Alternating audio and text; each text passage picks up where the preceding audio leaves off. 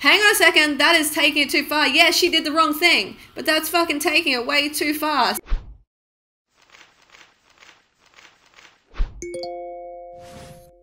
Hey banana bitches, welcome to another episode. So today's video is on Dani Mathers. She is a Playboy model who fat shamed a woman in a gym locker room by posting a naked photo of this woman with this caption on Snapchat. So here's the picture here. It's actually been blotted out, but it, it was she was full nude as far as I know. And um, Dani is putting like seriously, she's putting a hand over her mouth like gross. And she's written, if I can't unsee this, then you can't either. So this has really blown up on the internet. I haven't seen this level of hate for someone since hmm, went, since they went after me, actually. So this is crazy. And you know what? Some of it is justified because Dani has really done a shit thing here. It's really rude.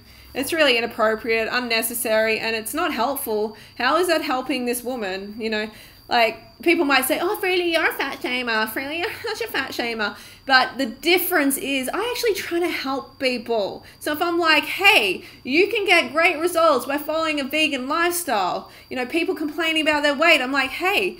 Check this out. This is a great way to improve your life, improve the animals' lives, people around you, and the planet. But the difference with Dani here is she's just pointlessly insulting this woman and putting her nude body on the internet, which is pretty crazy. So, anyway, let's just have a look down here. So, she's basically been you know, being burned at the stake by people on the net, and she has deleted her accounts on Instagram. Let's have a look. Dani Mathers Instagram. All right, so let's check it out. This is what remains of Dani's account. Dani Mathers, Playmate of the Year 2015, LA, 2,713 posts. So she's been on there for years, half a million followers, and following 3,000 people. So let's click on it. Bam, not available. She has deleted it. The pressure got to her big time, and she's like, fuck this. Everybody is just roasting me hardcore, so I'm going to delete my social media. Twitter, let's check out her Twitter. Uh, where is your Twitter? So here, she wrote an apology, and that's deleted as well. So let's go back, and she did actually apologize for what she did. Let's check it out. I found this on on YouTube, so listen up. Let's turn this up. I just wanted to acknowledge a photo that I accidentally posted here on Snapchat earlier today, and let you guys know that that was absolutely wrong and not what I meant to do. I I have chosen to do what I do for a living because I love the female body and I know that body shaming is wrong and that's not what I'm about. That's not the type of person that I am. That photo was taken to be part of a personal conversation with a girlfriend and because I am new to Snapchat, I really didn't realize that I had posted it and that was a huge mistake. I know that I've upset a lot of people out there, but please, please believe me when I say this is not the type of person I am. I've never done this before. I will never do this again. You have my word.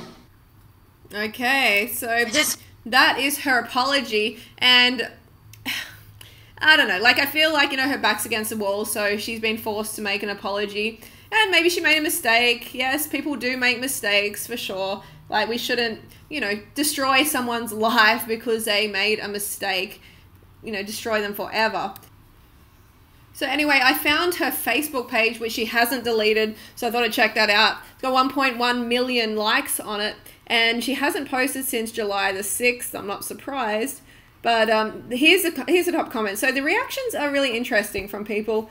So this this woman says, Laurie says, there is no filter that can make you pretty when you are so ugly inside. She got five thousand likes for that, and um, this person here, Gina, is replying to Laurie's comment and saying, you can be as skinny as you want, but you will always be ugly inside. You know, just hammering her, getting into her, but actually replying to Laurie, which is a little weird. Um, Natalie saying, and these are the kind of women I do not want my nine year old daughter to aspire to be like self centered ignorance. We go down. The, people have just spammed every one of her photos, every single one. Okay, so you are disgusting. I will. I will have you know, not everyone thinks you are beautiful. I think you are as ugly on the inside as you are on the out. Your face is wide and your mouth is huge. You are not as pretty as you think you are. So that comment got 730, oh, it was 731, now it's 740 likes. And you know, it just it just makes me sit back and think, hang on, is this is this the right thing to do? Okay, because this girl has done something that is hurtful. Yes, we agree, it is hurtful, and this person is now saying, I'm going to hurt you, and all these people are approving of it and making it personal about her looks. And, you know, saying an eye for an eye is, is what, you know, this girl deserves. You know, two rights. The thing is, two rights don't make a wrong. I mean, two wrongs don't make a right. You know, so when you're just bringing it down to that level and you're insulting someone's appearance like that, it's just, it's not helping. It's not helping at all. But I see, like, this whole gang mentality happening where people just start insulting her appearance because she is really attractive. And a lot of people are like, how dare she? Just because she's so attractive, you know, we should make her feel ugly too. That's going to make everything all right. If she feels ugly too, let's get her. You know, it's just, it's sad. It's really sad that people need to come down to that level and, you know, get so worked up about something which isn't even their business at the end of the day. You know, someone said that she should she took and published a photo. She's a sex offender and should be charged and labeled as such for life. So this person is saying that she's a sex offender because she took this photo and said that and put it on Snapchat and should be charged and labeled as a sex offender for life. Hang on a second, that is taking it too far. Yes, she did the wrong thing, but that's fucking taking it way too far, saying that she is a sex offender. And it's actually been written here a few times. You should be charged as a sex offender. That's really crazy. That is really taking it too far, people.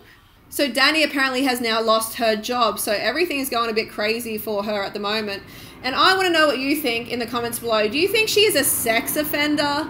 Do you think she deserves a second chance or she should be burned at the stake? What do you feel about people's reactions? Do you agree?